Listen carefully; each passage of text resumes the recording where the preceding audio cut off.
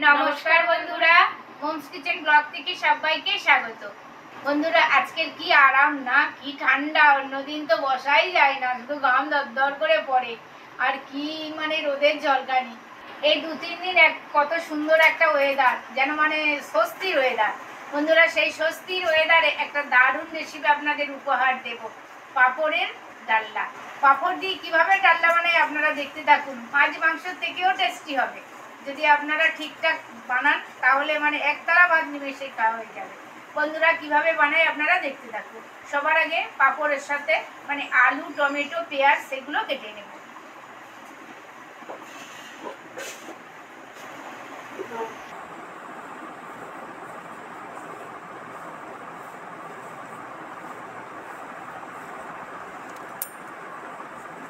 একটা গামছা নেই? স্যার ওভারহাটে যাচ্ছেন? আচ্ছা শশা নিয়ে আসবেন। হ্যাঁ শশা। ওকে।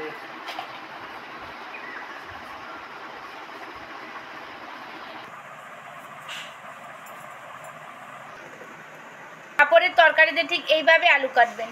বড় বড় ডুমো ডুমো করে। তবেই টেস্টি রেসিপি হবে। বেশ লাল। হুম। কি সুন্দর টমেটো। টমেটো আমি মনে করবে বাবা? হ্যাঁ লিখে নিয়েছো?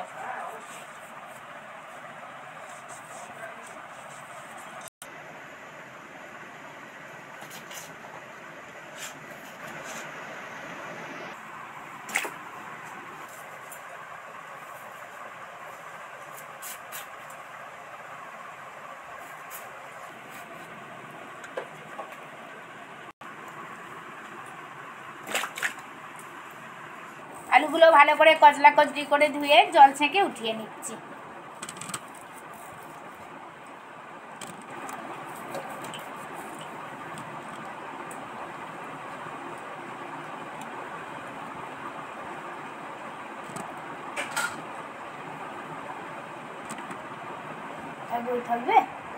দাদাভাই খাবে হয়তো এক পিস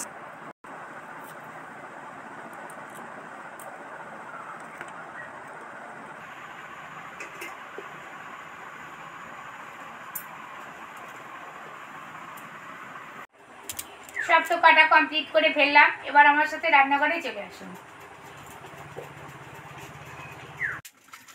সব তো রেডি করে নিয়ে চলে এসেছি। সামান্য এই তিন চারটি উপকরণ দিয়ে দারুণ ডেলিশিয়াস রেসিপি বানাবো। স্টেপ বাই স্টেপ দেখতে থাকুন। সবার আগে পাঁপড়টা খুলে চার টুকরো করে কেটে নেব। মাধুরী পাঁপড়, কিন্তু মোটাটা।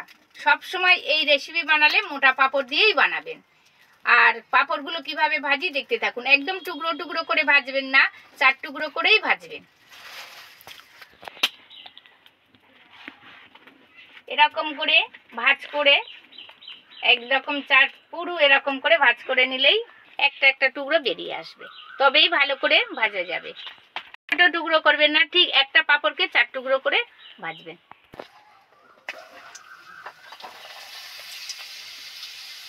আর পাঁপড় ভাজলে সবসময় নিবু পাঁপড় ভাজলেই সবসময় নিবু আছেই ভাজবেন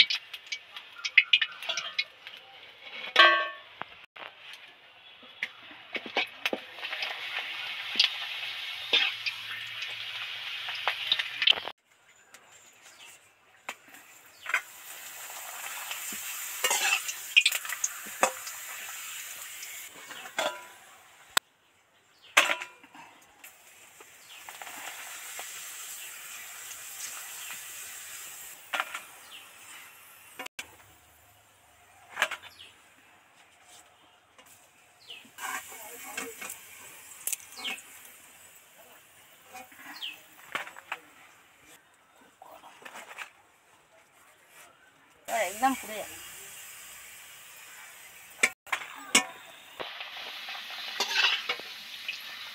এই পাপড় ছাড়া হচ্ছে তরকারি হয় না তাই না? না সব সময় চেষ্টা করবেন মোটা পাঁপড়েই রেসিপি বানাতে তবেই টেস্টফুল হবে।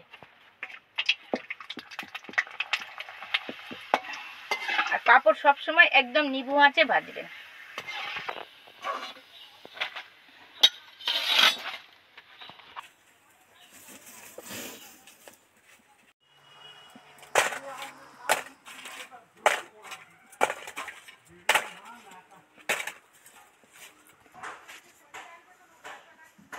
পাঁপড়গুলো তো সব এরকম পিস পিস করে ছাকা তেলে ভেজে নিলাম।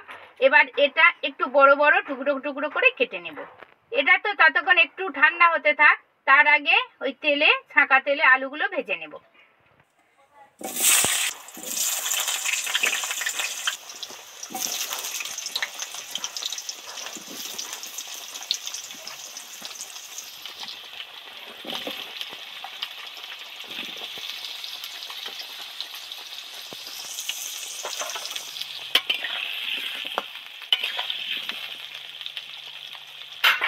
সামান্য একটু নুন ছড়া দেব। সাথে একটু সামান্য হলুদ গুঁড়ো দেব।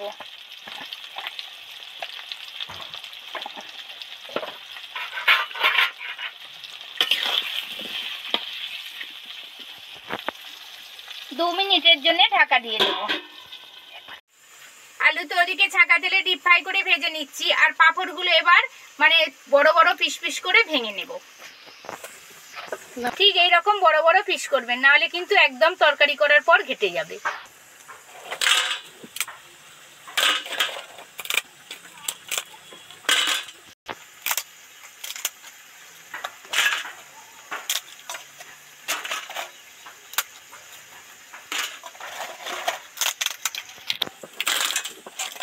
বেশি কুচো করলে হয়ে যাবে না? বেশি কিছু করলে আর ভালো লাগবে না যেন মনে হয় একদম গলেও যাবে একদম। লোক ভাবছে পাঁপড়ের তরকারি খুব সোজা, কিন্তু কঠিন সব। পাঁপড়ের তরকারি খুব ধীর ভাবে মনোযোগ সহকারে করতে হয়, না হলে একদম টেস্টফুল হবে না। দেখবেন একদম ফ্যান আর তরকারি এক হয়ে গেছে।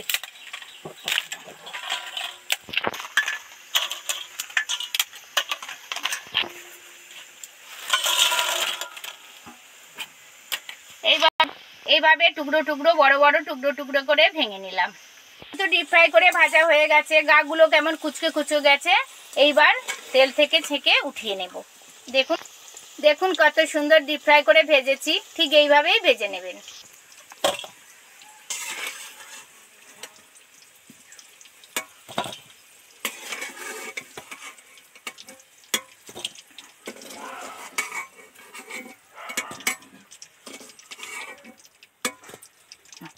এবার পেঁয়াজটা একটু ডিপ ফ্রাই করে ভেজে নেব।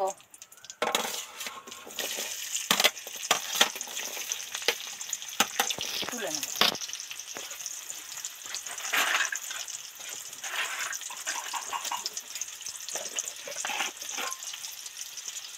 পেঁয়াজের মধ্যে একটু নুন ছড়া দিচ্ছি।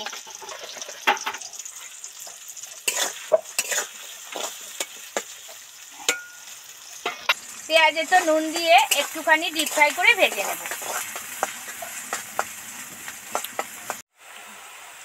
পেঁয়াজ তো ডিপ ফ্রাই করে ভাজা হয়ে গেছে, এবার তেল থেকে উঠিয়ে নিচ্ছি।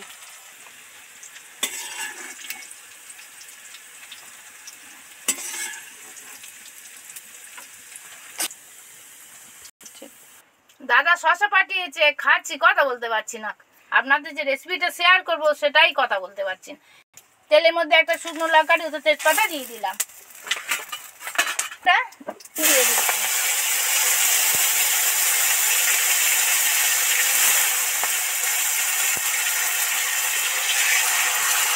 তেলের মধ্যে দিলাম।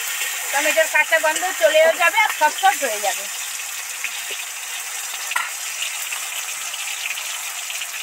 ওর মধ্যে আদা রসুনের পেস্টটা দিয়ে দিচ্ছি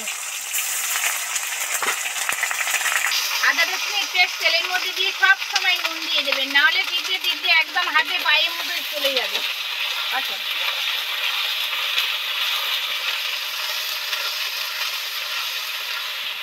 আদা রসুন আর টমেটোর গন্ধে রান্নাঘর একটা দারুণ গন্ধে ভরপুর।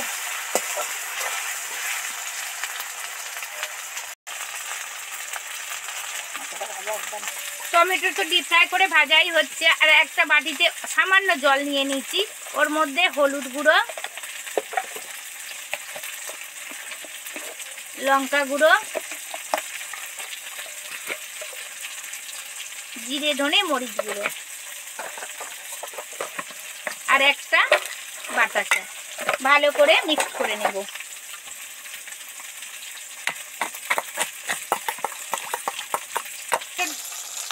টমেটো তো কড়ার মধ্যে ডিপ ফ্রাই করে ভাজা হয়ে গেছে, সব সফট হয়ে গেছে। এবার এই মশলাটা এর মধ্যে দিয়ে দেব।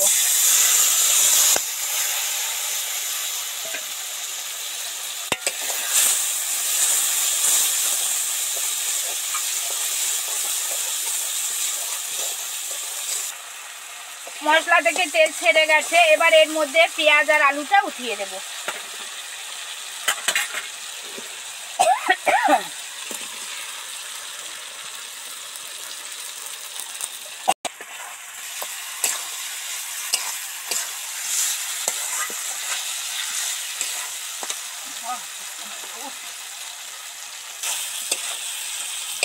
কালার এসছে। বন্ধুরা, দেখতে কেমন হয়েছে? খেতে ওই রকম ডেলিশিয়াস হবে। মশলা থেকে আলু থেকে সব তো তেল ছেড়ে গেছে। এই যখন দেখবেন এই তেলগুলো উপরে বুজবুজ বুজবুজ করে উঠে পড়েছে, তখন জানবেন ভাজা কমপ্লিট এবার জল দিয়ে দিচ্ছি।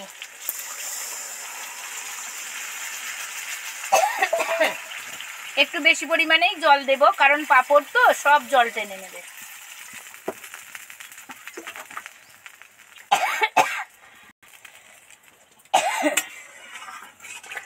একটু নেড়ে চেড়ে টকবক টকবক করে ফোটাবো, এখন ঢাকা দেব না।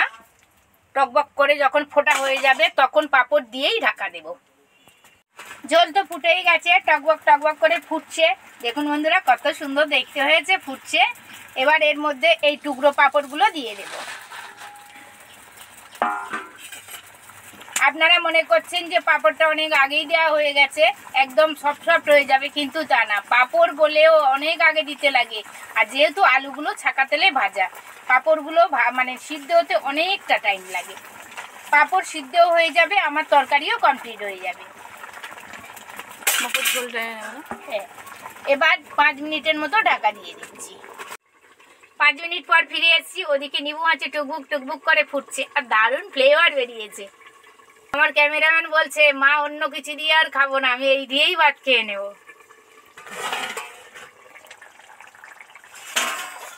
আমি পাপড়ের ভক্ত আবার পাপড়ের ডালনা দেখুন কত সুন্দর হয়েছে। তুমি ঠিক বলেছ তো আগে থেকে দিলে তবেই এরকম। পাপড় নামে নরম কিন্তু ঝড়- মানে জলে দিলে মানে অনেক আগে দিতে, আলুর সাথেই দিতে হয়। না হলে একদম শক্ত হয়ে থাকবে। দেখুন বন্ধুরা, কত সুন্দর গ্রেভি গ্রেভি মতো হয়েছে। কমপ্লিট করে ফেললাম। এবার এর মধ্যে একটু কিচেন কিং গরম মশলা আর একটু ঘি ছড়া দেবো। কিন্তু কিচেন কিং গরম মশলা একদম সামান্য দেবেন। পাঁপড়ের গন্ধটা না, যাতে না চলে যায়। একটুখানি, একদম একটুখানি ছড়া দিলাম। সামান্য দিয়ে দিচ্ছি।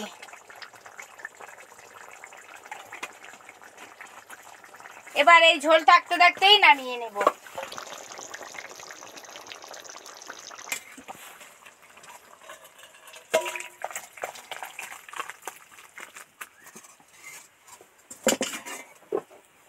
একটু এরকম গ্রেভিটা বেশি থাকাই নামিয়ে নেবেন, না হলে যখন আপনারা পরিবেশন করবেন তখন দেখবেন একদম শুকিয়ে গেছে, কারণ পাঁপড় অনেক জল টেনে নেয়।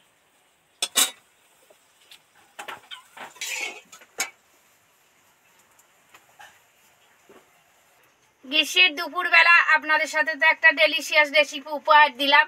এতক্ষণ আমার সাথে থাকার জন্য অসংখ্য অসংখ্য ধন্যবাদ। দেখা হচ্ছে পরের ভিডিও কোনো এক নতুন ভিডিও নিয়ে আপনাদের সামনে চলে আসব। ভালো থাকবেন, সুস্থ থাকবেন, সাবধানে থাকবেন। আর আমার চ্যানেলে সাবস্ক্রাইব করে প্লিজ আমার পাশে থাকবেন। নমস্কার, ধন্যবাদ।